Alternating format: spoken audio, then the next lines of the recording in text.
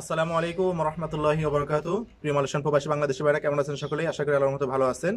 আজকে আপনাদের সাথে মালয়েশিয়ার চলমান লকডাউনে ওয়ার্কারদের পরিস্থিতি নিয়ে আলোচনা করব এবং কি ইমিগ্রেশন রিলেটেড কিছু সংবাদ আপনাদের সাথে উপস্থাপন করব। ইনশাল্লাহ যে প্রশ্নগুলো আপনার মনের ভিতর ছিল, সেই প্রশ্নগুলোর উত্তর আপনারা এই ভিডিওর মাধ্যমে অনেকেই পেয়ে যাবেন। এর আগে বলে রাখি আপনার এখনও যারা আমাদের চ্যানেলে প্রথম আমাদের চ্যানেলটি সাবস্ক্রাইব করে রাখুন এবং বেল বাটন ক্লিক করে রাখুন যাতে ইমিগ্রেশন রিলেটেড যে কোনো সংবাদ উপস্থাপন করার সঙ্গে সঙ্গে অটোমেটিকলি পৌঁছে যায় আপনাদের হাতে।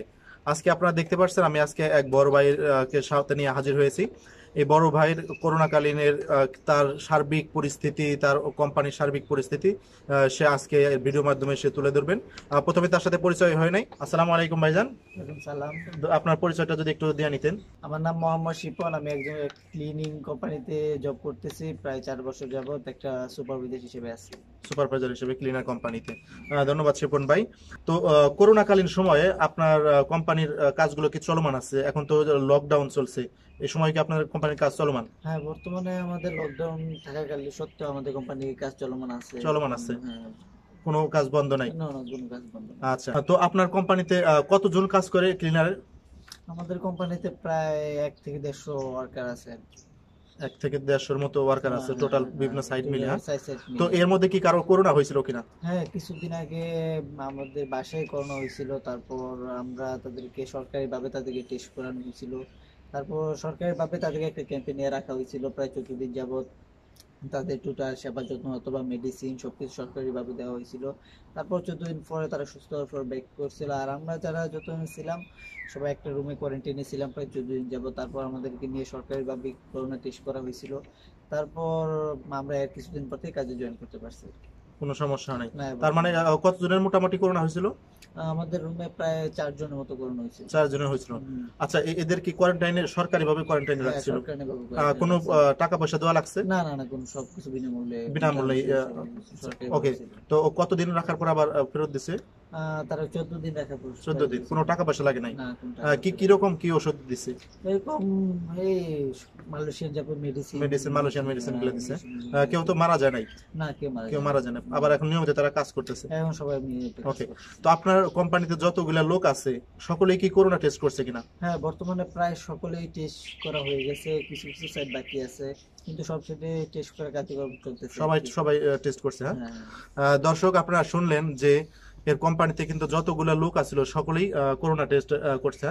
এই করোনা টেস্ট কোথা থেকে করছে? মানে এই করোনা টেস্ট কিছু কিছু সাইডে আছে সরকারিভাবে টেস্ট করা মানে সরকারিভাবে নিয়ম দিছে যাকে নিয়ম বিধি মিলে যাতে সবাই টেস্ট করে আর কি তো আমাদের কোম্পানি অ্যাপ্লাই করছে অনেক জায়গায় সরকারিভাবে টেস্ট করছে আবার ফ্রিতে করছে আবার কেউ কেউ অন্যান্য সাইটে আছে যারা সবাই নিজেটা নিজে করে নিছে। নিজেরটা নিজেরটাই করে নিছে।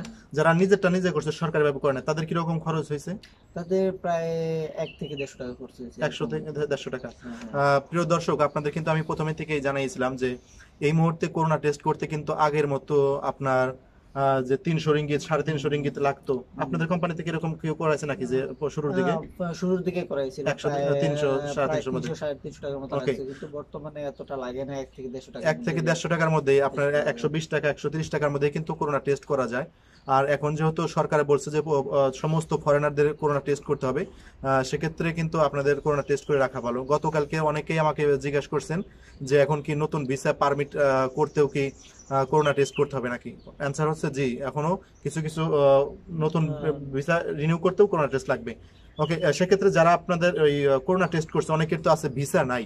আপনাদের এখানে অনেকেই প্রশ্ন করছিলেন যে অনেকের তো ভিসা নেই তাহলে তারা করোনা টেস্ট কীভাবে করবে? আপনাদের এখানে তো কীভাবে করছে?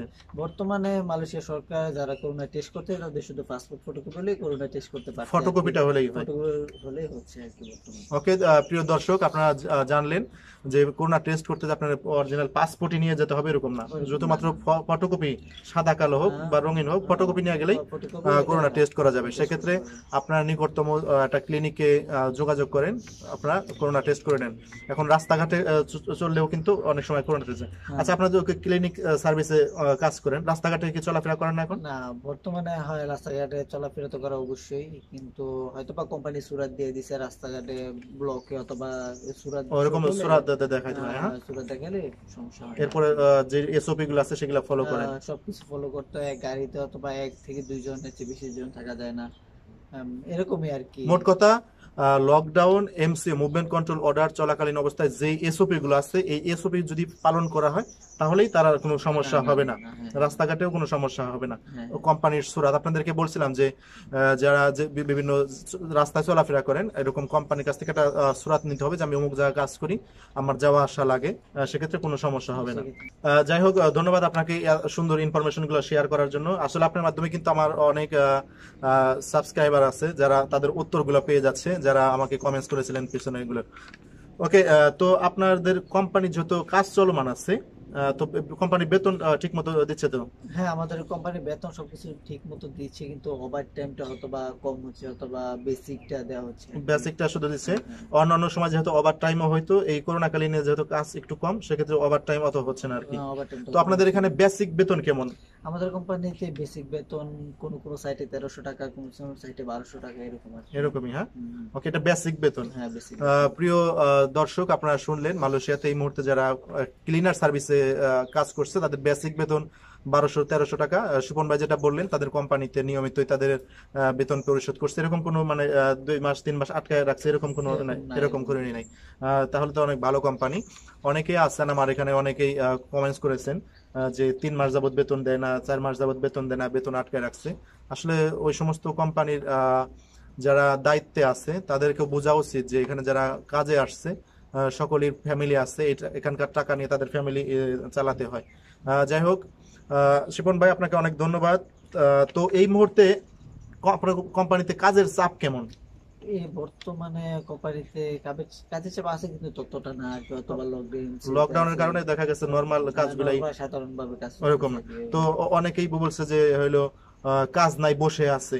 আপনাদের কোম্পানিতে যারা মানে আছে তারা এরকম কোনো ই নাই? না না আমাদের কোম্পানিতে আচ্ছা নতুন কোন লোক ঢোকান যাবে না বর্তমানে আমাদের কোম্পানির লোকের চাহিদা খুব কম কারণ সবাই যে কয়জন আছে যথেষ্ট মানে পুরনো আর কি পুরনো আছে। ওকে। ধন্যবাদ শিপন ভাই। যাই হোক আপনাকে ধন্যবাদ। আপনাদের কোম্পানিতে কি শুধু বাংলাদেশি লোকই আছে না অন্য দেশের লোক আহ, আমাদের কোম্পানিতে বাংলাদেশিও আছে ইন্দোনেশিয়াও আছে মিলে টিলে আর মিলে আছে মোটামুটি কোনো সমস্যা নাই। মোটামুটি আর আপনাদের কোম্পানি থেকে অধি- অধিকাংশই মানে বৈধ লোক আছে? হ্যাঁ আমাদের কোম্পানিতে প্রায় সবাই বৈধ? প্রায় সবাই বৈধ আর- আর- বৈধ আর কি। আর কিছু লোক আছে কিনা যারা বৈধতা নেবে পাসপোর্ট করতে বা এরকম? এরকম হওয়া অনেকে চাইতেছে মানে কোম্পানিতে আসার জন্য অথবা এসে পাসপোর্ট করার জন্য ভিসা করার জন্য। কিন্তু যদি মালয়েশিয়া সরকারের সুযোগ দেয় তারপর যদি আমরা করে নিতে পারি। সোফা আপনাদের এরকম কোনো কোম্পানিতে কোনো সমস্যা হয় দেশের সরকারি ভাবে কোনো সমস্যা হচ্ছে না? না বর্তমানে আমাদের কোনো সমস্যা হচ্ছে না। আচ্ছা আহ, আপনাদের আহ, কোম্পানিতে যেভাবে আপনারা কাজ করছেন সেক্ষেত্রে আমার এখানে অনেক দর্শক আছে যারা চাচ্ছে যে এরকম বিভিন্ন কোম্পানিতে কাজ নাই। কাজ তারা খুঁজছে সেক্ষেত্রে যদি আপনাদের কোম্পানিতে কোনো সময় লোক লাগে তাহলে কি আপনাদের সাথে যোগাযোগ করতে পারে কিনা? হ্যাঁ অবশ্যই যদি কারও এরকম সমস্যা হয় যদি কারও কাজ লাগে করতে পারে ওকে প্রিয় দর্শক আপনারা যারা ক্লিনার সার্ভিসে কাজ করতে চান আমাদের এখানে কমেন্টস করতে পারেন যদি কাজ শিপন ভাইদের কোম্পানির সাথে যদি এরকম কাজ অ্যাভেলেবেল থাকে হয়তো আপনাদেরকে ফোন দিয়ে জানানো হবে। এই মোটামুটি আজকের আপডেট সংবাদ। ইনশাল্লাহ আগামীকালকে আমি যেটা প্ল্যান করে রেখেছি, আগামীকাল রবিবার, আগামীকাল রবিবারে আমি আপনাদের সাথে বলেছিলাম যে লাইভে আসব। লাইভে এসে ফেসবুক লাইভ এটা আমাদের ফেসবুক লাইভ হবে দুপুর দুইটার সময় দুপুর দুইটার সময় ফেসবুক লাইভে এসে আমি আপনাদের সাথে যে আলোচনাগুলো করব যে আপনারা আমার সাথে অনেকেই কথা বলতে চেয়েছেন আপনারা আমার সাথে অ্যাড হইতে পারেন। আপনারা এখানে রিকোয়েস্ট পাঠালে আমি আপনাদের অ্যাড করব। এর পরবর্তীতে আপনারা আমার সাথে কথা বলতে পারেন বা আপনি আমাদের সাথে লাইভে চ্যাট করতে পারেন। আপনাদের যে- প্রশ্নগুলো আছে অবৈধদের বৈধতা সম্পর্কে অবৈধদের দেশে যাওয়া সম্পর্কে আরও ইমিগ্রেশন রিলেটেড যে সমস্ত প্রশ্নগুলো আছে আপনারা আমাদের যে ফেসবুক পেজ আছে আমি পেজে থেকে আসব। আপনার আমার ফেসবুক পেজে লাইক দিয়ে আছেন তো? হ্যাঁ প্রবাসী কণ্ঠ। সেক্ষেত্রে যারা আমাদের পেজে এখনও লাইক দেন নাই, আমাদের পেজে লাইক দিয়ে রাখুন। বাংলাতে লিখলে হবে, ইংলিশে লিখলে হবে, প্রবাসী কণ্ঠ। প্রবাসী কণ্ঠ, এই ফেসবুক পেজে আগামীকাল দুপুর দুইটার সময় ইনশাল্লাহ আমরা লাইভে আসব। সেক্ষেত্রে আপনার মনের যদি কোনো প্রকার প্রশ্ন থাকে, আমাদের এখানে করতে পারেন। এবং আমার সাথে সরাসরি জয়েন হয়ে আমার সাথে ভিডিও কনফারেন্সে কথা বলতে পারবেন। এটা অনেকের রিকোয়েস্ট ছিল যে আমার সাথে কথা বলবে সরাসরি তাদের প্রশ্নের উত্তরগুলো দিতে, এই প্রোগ্রামটি চালু করতে যাচ্ছি। ইনশাল্লাহ আগামীকালকে আপনাদের সাথে দেখা হবে দুপুর দুইটার সময়। যাই হোক, মোটামুটি করোনাকালীন সময়ে অনেকে অনেক সমস্যার মধ্যে আছে। শিপন ভাই যেটা বললেন সোফার শিপন বার মাধ্যমে কিন্তু আমরা বেশ কিছু মেসেজ পেলাম। যেটা হলো করোনাকালীন সময় যদিও করোনা অনেকেরই হয়েছে তারা সরকারিভাবে আইসোলেশন সেন্টারে খেয়ে আবার মুক্ত পেয়েছেন। আবার কারও কারও আইসোলেশনে না নিয়ে নিজের রুমেই কোয়ারেন্টাইনে থাকতে বলেছেন। সেক্ষেত্রে তারা আবার সুস্থতা হয়েছে আবার কাজেও জয়েন করেছেন। মোট মেসেজ হলো যে করোনা যদি কারও হয়েও থাকে ভয় নাই। আপনার রুমের ভিতরেও নিজে নিজেই আপনার কিছু কাজ ফলো করে যেরকম গরম পানি খেতে হবে এরপরে আদা চা খেতে হবে, এরপরে আইস জাতীয় কোনো কিছু খাওয়া যাবে না। এই নিয়ম কারণ ফলো করলে কিন্তু রুমে থেকে আস্তে আস্তে নিজেরা সেলফ কোয়ারেন্টাইন থাকতে পারেন। যাই হোক দর্শক, আপনাদেরকে ধন্যবাদ আমাদের সাথে থাকার জন্য এবং ধন্যবাদ শিপন ভাই আপনাকেও আমাদের সাথে থাকার জন্য। সবাইকে ধন্যবাদ। আর এই চ্যানেলটি সবাই সাবস্ক্রাইব করবেন। জি জি। যত তথ্য আছে অবশ্যই এই চ্যানেলে আপডেট দেওয়া হয়। সবাই জি, জি, ফলো জি। করবেন। যে আমাদের এই চ্যানেলের মাধ্যমে আমরা নিয়মিতই চেষ্টা করি যে আপডেট সংবাদগুলো দেওয়ার জন্য। যাই হোক সকলকে ধন্যবাদ জানিয়ে শেষ করছি। দেখা হবে আগামীকালকা দুপুর দুইটার সময় ফেসবুক লাইভে প্রবাসী কণ্ঠে। সকলে ভালো থাকুন। আসসালামু আলাইকুম রহমতুল্লাহি ওবরাকাতুহ